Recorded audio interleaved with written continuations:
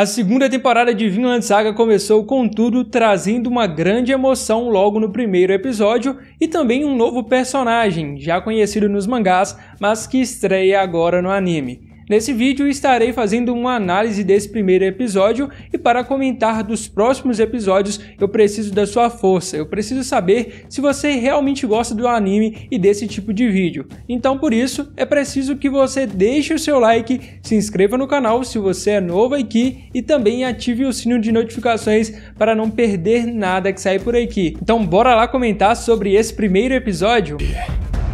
俺の住んでた村に二度兵隊が来た あいつらは人の皮をかぶった獣だ O que eu mais gostei desse primeiro episódio é, como eu disse anteriormente, a emoção, e ele veio carregado disso e principalmente pelo fato de mostrar um pouco de como era a vida dos ingleses naquela época. Para ser bem sincero, eu não sei se naquele período ali em que o anime está retratando já tinha se formado, né, a Inglaterra, se eu não me engano, acho que já tinha, não sei, mas eu não vou me arriscar por aqui.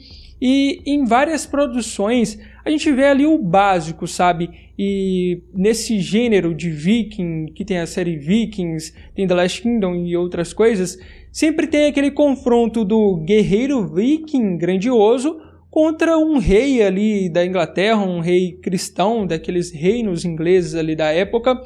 E a gente fica meio que dividido, né? Às vezes a gente até compra o lado dos vikings porque é um personagem mais carismático que está sendo apresentado ali e os reis ingleses, na maioria das vezes, são aqueles personagens truculentos, né? Que só quer expulsar e tem muito lance de religiosidade e tudo mais.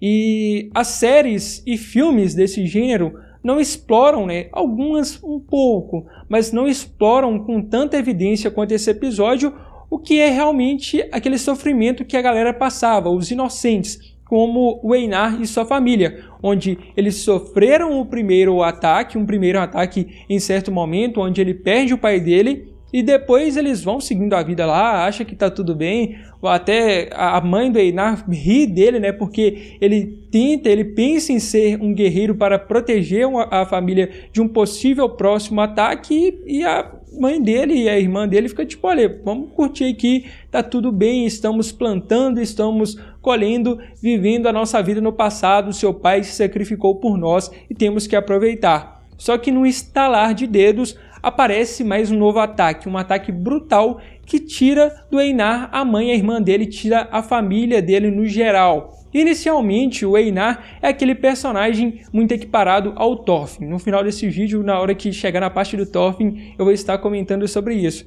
Que tem toda aquela destreza, aquela fúria de querer resolver, de achar que é mais sorte do que ele realmente é. Então ele acaba fazendo alguns atos ali quando é levado como escravo, como naquele momento em que a menina passa mal e ele tenta meio que resolver, já toma um ali, já cai pro lado. E é até interessante essa parte também, porque mostra, detalhe, é como eu disse que eu curti desse episódio mesmo, é mostrar essa vida árdua e mostra a vida da escravidão também, onde eram levados ali escravos da Inglaterra para Dinamarca, para Noruega, Irlanda, esses países ali na região, e as pessoas simplesmente sumiam, né? Não iria ter um parente ali pregando cartaz desaparecido para tentar encontrá-las, era impossível, era uma distância do, do, que naquela época era muito grande. Então temos o Einar todo destemido, ele naquele barco, depois ele tentando fugir como escravo, até que ele entende o que está acontecendo ali. Ele toma uma surra de lavada e começa a perceber que, cara,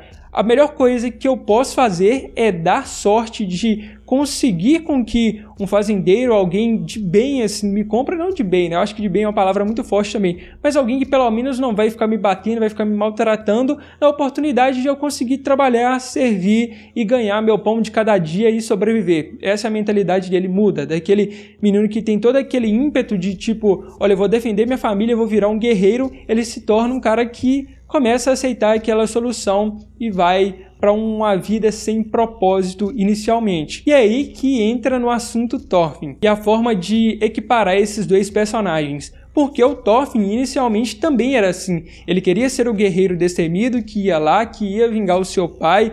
Então ele tentava, apanhava, levantava, até que ele foi criando uma casca. Pelo que parece, o Einar não vai seguir esse lance do Thorfinn, como o Thorfinn foi de ser um guerreiro implacável que consegue lutar, que consegue causar destruições. O Einar parece ser uma parte mais mental mesmo e sentimental que ele vai desenvolver ao longo do anime. E o Thorfinn, nesse período em que o, que o Einar encontra ele, né, e provavelmente dali deve surgir uma amizade, como acontece no mangá, o Thorfinn ele também está sem propósito. É como aconteceu com a Einar, de ambos serem os destemidos que querem resolver todas as questões, até os dois chegarem em um momento em que não há propósito para ninguém ali, apenas o sentimentalismo e vamos trabalhar e seguir a vida porque é isso que nos restou. E na parte do Thorfinn, nem podemos falar que toda essa falta de desejo, de vontade dele é por conta da morte do seu pai porque ele supera isso de alguma forma, supera né, na primeira temporada de uma forma bem sangrenta e violenta. Toda essa falta de motivação dele é mais pela morte do Askeladd, onde ele tinha como objetivo principal matá-lo e vingar o seu pai.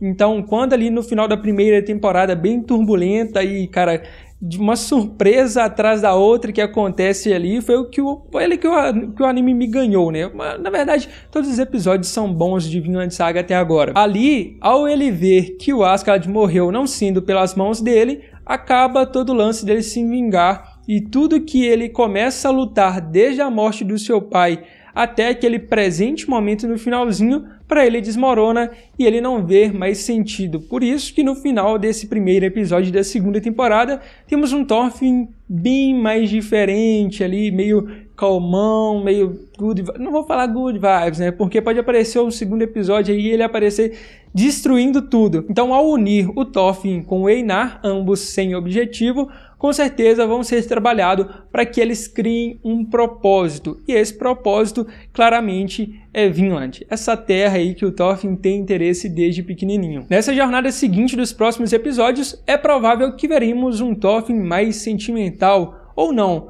mas espero que se abrindo, né? E o Einar deve ser essa parte. Toda a introdução do personagem no início significa muito para o futuro do anime e isso vamos ver no decorrer do tempo. São muitos episódios a serem lançados aí, então vamos acompanhar, vou acompanhar todos como eu disse, para me trazer mais análises como essa aqui no canal, eu preciso ver que meu público gosta, que meu público sente interesse, ou para você novo que chegou aqui e está assistindo esse vídeo até o final. Então, por isso, é necessário que você deixe o seu like para impulsionar esse vídeo e que mais pessoas venham assistir. Até tem uma galera que tem dúvida, dúvidas aí de onde está acompanhando. A Netflix está lançando todos esses episódios semanalmente, não dá para assistir por lá e tem o Crunchyroll também, que é o padrão, né, dos animes aí, a galera sempre assiste mais lá no Crunchyroll.